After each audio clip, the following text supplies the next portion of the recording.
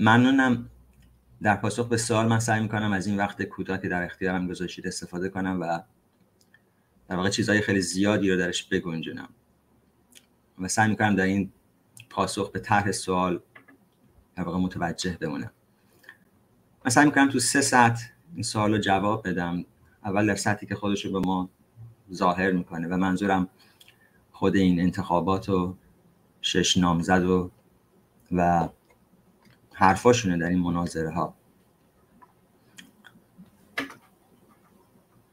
در این صد چیزی که پیداست اگه ما همه هر کدوم از این نامزدها رو بردار بگیریم با وجود اینکه با هم در تناقض می‌تونن باشن یا جهت های مختلفی می‌تونن در محدوده کوچیک نشون میدن اما به طور کلی به نظر میاد دارن به یک مسیر طولانی اشاره می‌کنن که تقریبا همه وضعیت جمهوری اسلامی نظام یا هر چیزی که اسمشو بذارید داره به سمتش میره.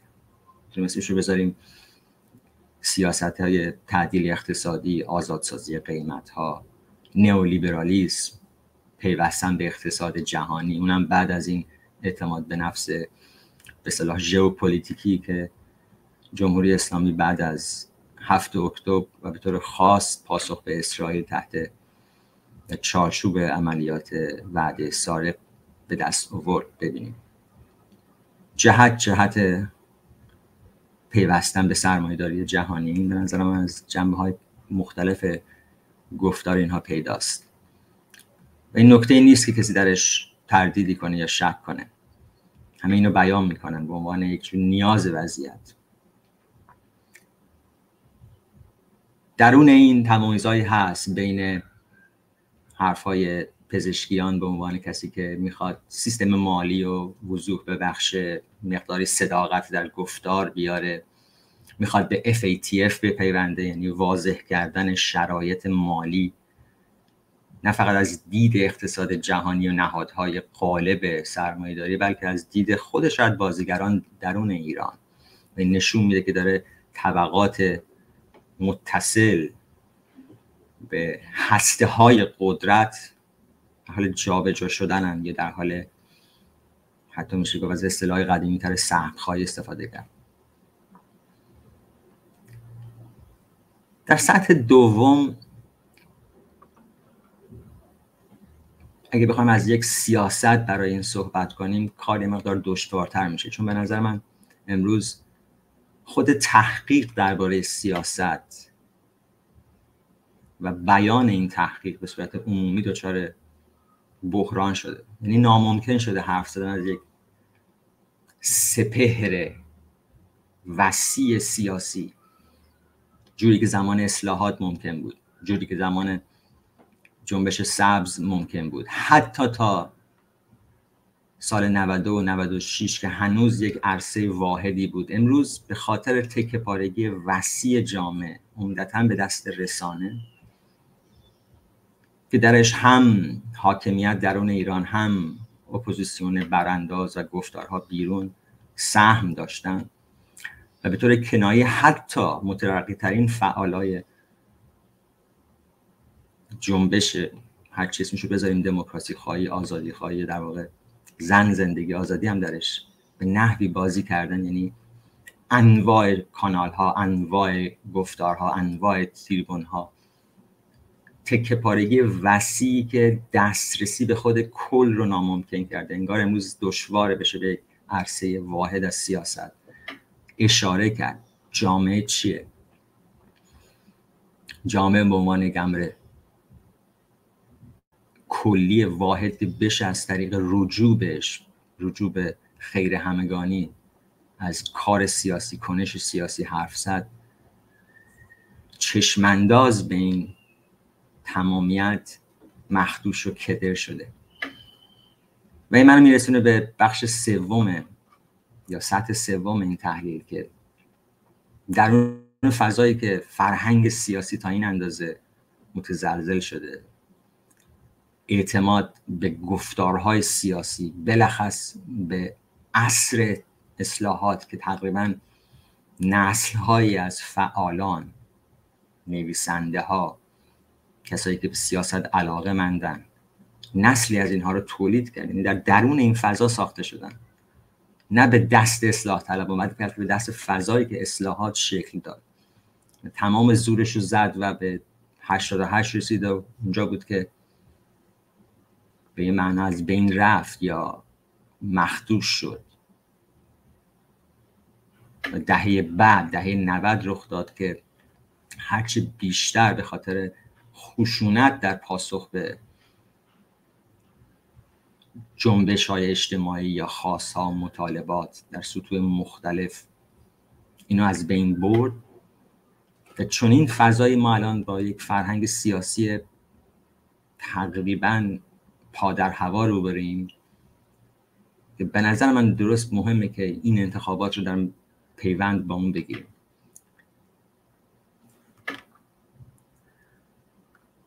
اما در سطح سوم می‌رسیم به خود گفتار اصلی یا گفتارهای اصلی که از سه سال پیش از دو سال پیش بعد از جنبش ژینا خیزش زن زندگی آزادی را افتاد. یعنی تلاش برای بازیابی یه سری وضعیت های بنیادین مفاهیم بنیادین زنانگی یا هر شکلی از باشی زندگی یا بقا. اسمش می‌تونیم زندگی معمولی یا زندگی شرافتمندانه و البته آزادی.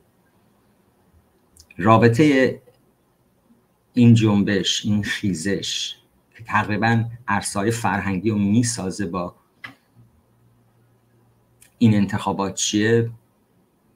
بسیار رابطه پیچیده ایه چون از یک جهت بدنه اصلی این جنبش نمی‌خواد چون می‌دونه چون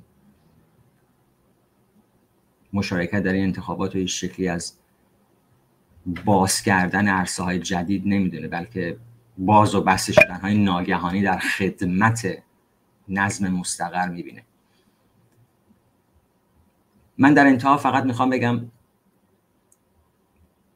سه دلیلی که با معنا می‌کنه این انتخابات رو بردشمونم ورای اینکه نتیجه مستقیمش چیه؟ حرکت اصلی میرخشیده این فضا این سیاست این انتخابات رفتن به سمت شکلی از شاید بشه برای اولین بار مدرن شدنه. ولی مدرن شدن به شکل خیلی احتمالا متکسر انواع هویت ها انواع صداها انواع افراد انواع ذهنیت هایی که در تمام این سالها واپس زده شدن. سه کار می‌تونه بکنه این جنبش. این انتخابات یا معنای انتخابات. اول اینکه گفتار سیاست رو دوباره بتونه از چنگ اپوزیسیون برانداز و گفتارهاش در خارج از ایران در بیاره. یعنی دوباره بیاره درون.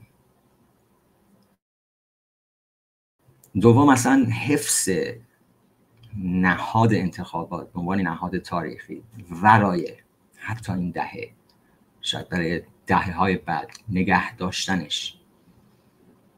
یعنی کاملا از کار نینداختنش. سوم اینجور وارد کردن یه امر مثبت یه چیز مثبت. درون فرهنگ سیاسی که تماما حل شده بوده در مفهوم براندازی. تا حدی که حتی صدای میشه گفت تئوری بقایی که جنبش زن زندگی آزادی ازش حرف می‌زد خفه شده در خفه شده بود درون این گفتار.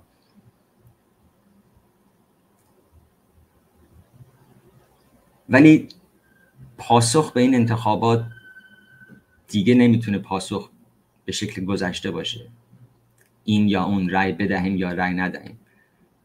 از این فراتر رفته و ما باید بتونیم رابطمون رو با این به همین ترتیب صورت بدیم. یعنی با بازگشت به یکی از مفاهیم اصلی خیزش بقا یا زندگی.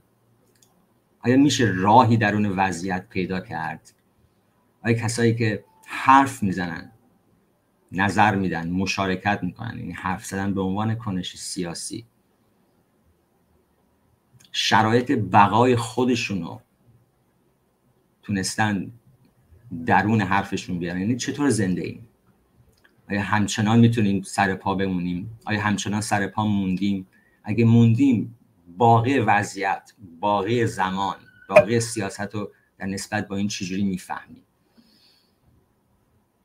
آیا پاسخ کندن خروج از فضای سیاسی در ایرانه و رفتن به کجا؟ آیا مثل زم اواخر دهه چهل باید بگیم ما تئوری بقا رو رد می‌کنیم و به مبارزه مسلحانه متوسل میشیم؟ یا هنوز راهی هست؟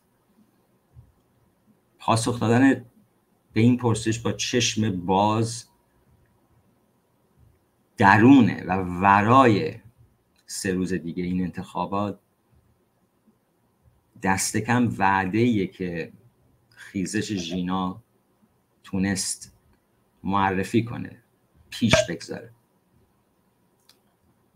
از این جهت هرچند خود این انتخابات کنش شرکت در انتخابات دیگه اونقدرها سیاسی نیست حرف زدن درباره انتخابات امروز و به سمت سالهای آینده همچنان